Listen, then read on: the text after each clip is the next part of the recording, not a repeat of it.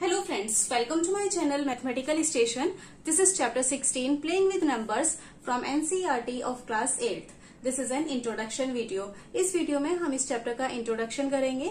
So topics to be covered in this lesson are numbers in general form letters for digit test of divisibility अब हम इन सब topics को एक एक करके डिटेल में डिस्कस करेंगे.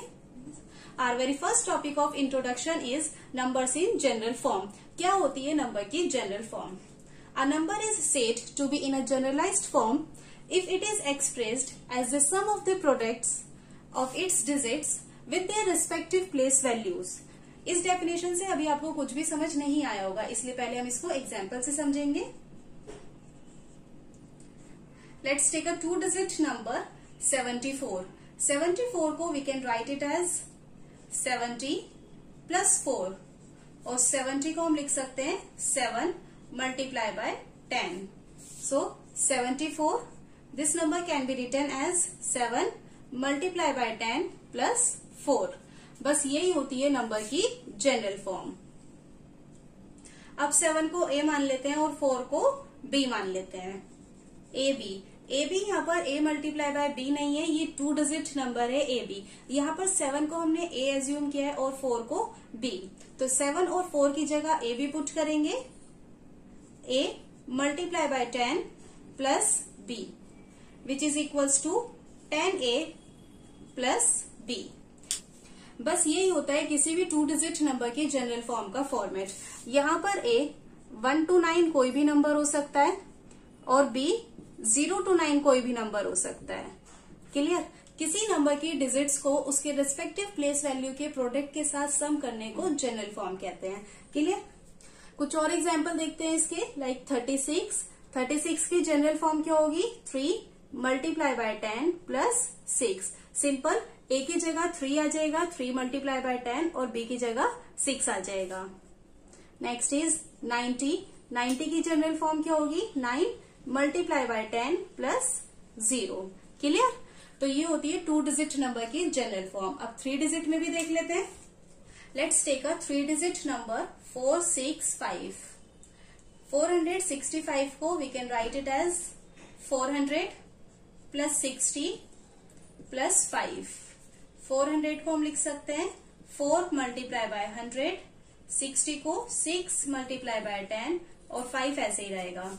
सो so, 465 this number can be written as 4 multiply by 100 plus 6 multiply by 10 plus 5 ये होती है थ्री डिजिट नंबर की जनरल फॉर्म। फोर को ए मान लेते हैं, सिक्स को बी और फाइव को C A B C A B C ये प्रोडक्ट नहीं है, ये थ्री डिजिट नंबर है। यहाँ पर फोर को हमने ए एज्यूम किया है, सिक्स को बी और फाइव को सी फोर, सिक्स, फाइव, इनकी जगह ए बी सी पुट करेंगे। A multiply by hundred plus by ten plus C it will be hundred A plus ten B plus C तो यही होता है थ्री डिजिट नंबर की general form का format यहाँ पर ए वन टू नाइन कोई भी नंबर हो सकता है. बी ज़ीरो टू नाइन कोई भी नंबर हो सकता है. और सी भी ज़ीरो टू नाइन कोई भी नंबर हो सकता है. क्लियर तो जनरल फॉर्म क्या होती है? किसी नंबर के डिजिट्स को उसकी रेस्पेक्टिव प्लेस वैल्यू के प्रोडक्ट के साथ सम करने को जनरल फॉर्म कहते हैं। इसके कुछ और एग्ज़ाम्पल देखते हैं। Like eight five zero eight hundred fifty इसकी जनरल फॉर्म होगी eight multiply by hundred plus five multiply by ten plus zero यही होती है general form clear so this is all about numbers in general form now coming to the next topic our next topic of introduction is letters for digits letters for digits क्या है? इसमें हमारे पास कुछ puzzles होती हैं जहाँ पर लेटर्स ने डिजिट्स की जगह ले ली होती है। For example five A plus eight seven is equal to C B three ABC क्या है? एबीसी लेटर है। यहाँ पर कुछ डिजिट होंगी। एबीसी लेटर्स ने उनकी जगह ले ली है। अब हमें फाइंड करना है कि कौन सा लेटर किस डिजिट को रिप्रेजेंट कर रहा है। कौन से लेटर की क्या वैल्यू है? इस तरह के पजल्स को सॉल्व करने के लिए हमें सिंपल से दो रूल्स गिवन है first one is each letter in the puzzle must stand for just one digit means puzzle का एक लेटर एक ही डिजिट के लिए स्टैंड करेगा। ऐसा नहीं होगा कि एक लेटर के लिए हम टू डिजिट नंबर फाइंड करते हैं एक लेटर के लिए एक ही डिजिट चाहिए।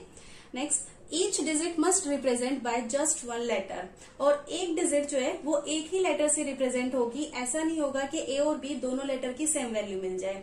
ए की वैल्यू अलग होगी बी की अलग होगी सी की अलग होगी। ए बी सी इस पजल में तीन लेटर हैं तो ए बी सी तीनों लेटर्स के लिए तीन अलग अलग डिजिट ही होंगी। ऐसा नहीं हो सकता कि दो लेटर के लिए हमें सेम डिजिट मिल जाए। And second one is the first digit of a number can not be zero number का फ़र्स्ट डिजिट ज़ीरो नहीं हो सकता है। जैसे यहाँ हमें आंसर गिवन है सी बी थ्री यहाँ पर सी की वैल्यू ज़ीरो नहीं हो सकती है क्योंकि सी इस रो का फ़र्स्ट डिजिट है ओके अब इस एग्ज़ाम्पल को सॉल्व करके हम लेटर्स के लिए डिजिट फाइंड करना सीखेंगे. Question is five eight plus eight seven is equal to C B three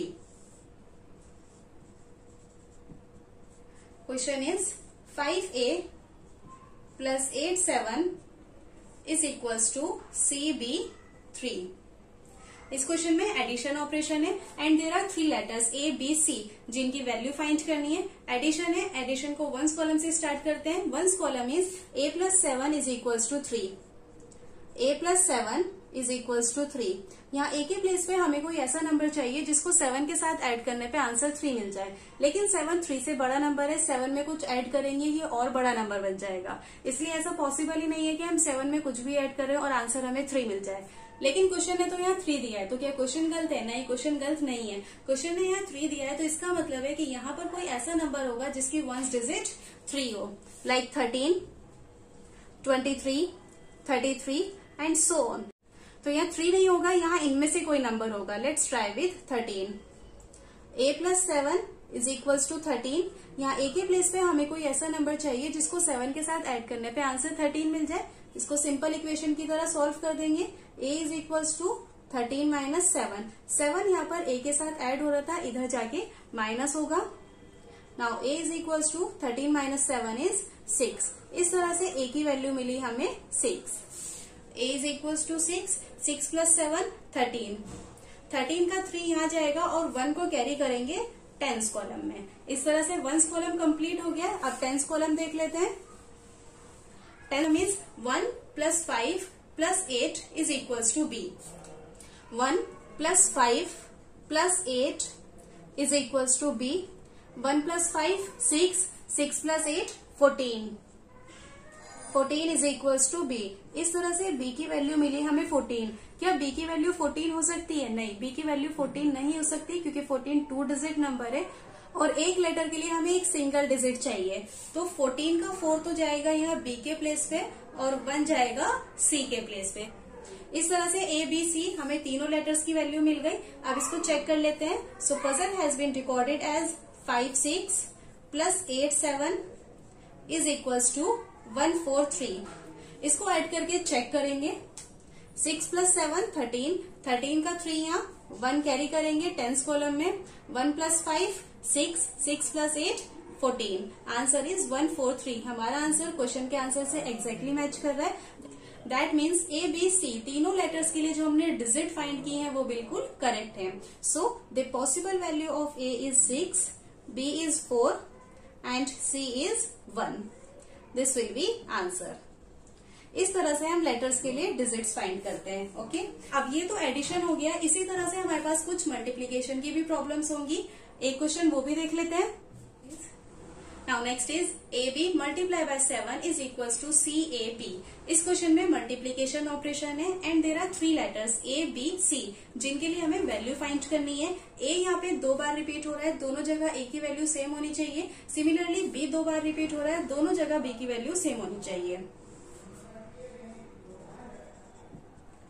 solution start करते हैं. A B multiply by seven is equals to C A B multiplication को ones column से start करते हैं. Ones column is seven multiply by B is equals to B B multiply by seven is equals to B यहाँ B के place पे हमें कोई ऐसा नंबर चाहिए जिसको सेवन से मल्टीप्लाई करने पे आंसर में सेम नंबर मिल जाए। तो हम क्या करेंगे, यहाँ बी के प्लेस पे ज़ीरो से नाइन तक के सारे नंबर्स को एक एक करके पुट करेंगे और चेक करेंगे कौन सा नंबर पजल में फिट होता है। Let's start with zero zero multiply by seven is equals to zero zero की सेवन से मल्टीप्लाई करेंगे आंसर मिलेगा हमें ज़ीरो दोनों जगह सेम नंबर मिल गया तो बी की पॉसिबल वैल्यू ज़ीरो हो सकती है।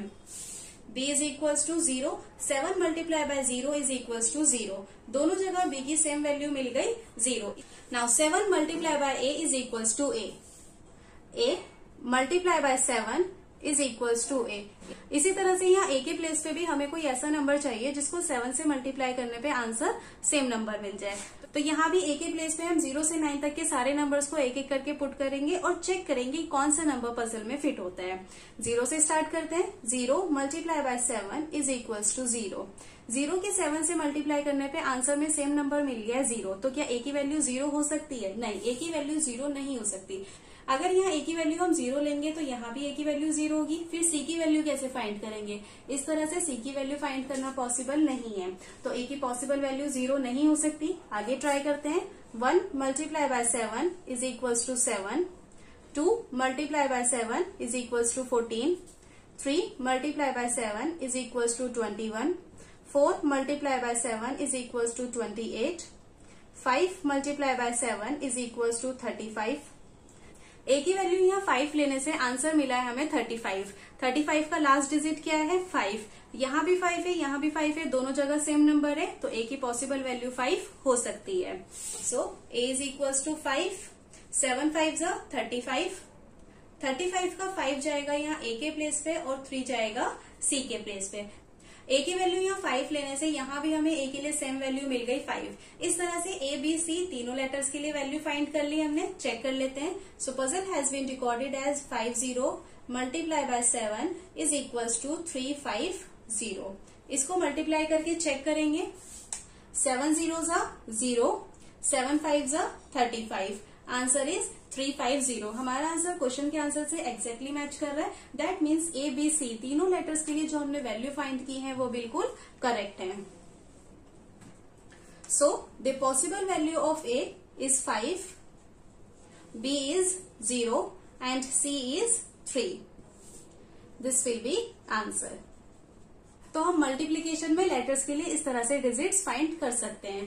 Clear so this is all about letters for digits and आज के वीडियो में सिर्फ़ इतना ही आगे के टॉपिक्स नेक्स्ट वीडियो में कंटिन्यू करेंगे If you have any doubt, you can mention in the comment box. And please make sure that you like, share and subscribe to my channel if you like today's video. Your support really means a lot to me. Bye bye. Take care.